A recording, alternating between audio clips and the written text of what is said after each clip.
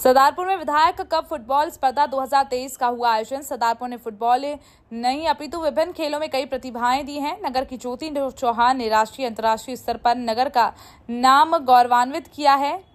ये बात विधायक प्रताप ग्रेवाल ने खेल युवा कल्याण विभाग के निर्देश अनुसार सरदारपुर के खेल परिसर मैदान पर आयोजित विधायक कप फुटबॉल स्पर्धा 2023 के समापन समारोह को संबोधित करते कही।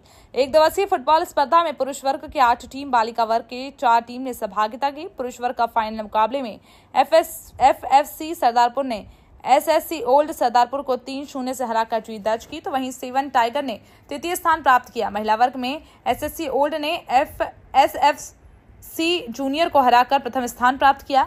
निर्मला कॉन्वेंट राजगढ़ ने तृतीय स्थान प्राप्त किया। विधायक प्रताप ग्रेवाल द्वारा पुरुष और महिला वर्ग में विजेता टीम को क्रमश तेरह तेरह हज़ार रूपए उप विजेता टीम को आठ हज़ार रूपए तृतीय स्थान प्राप्त करने वाली टीम को पाँच हज़ार रूपए की इनामी राशि शील्ड देकर पुरस्कृत किया गया है।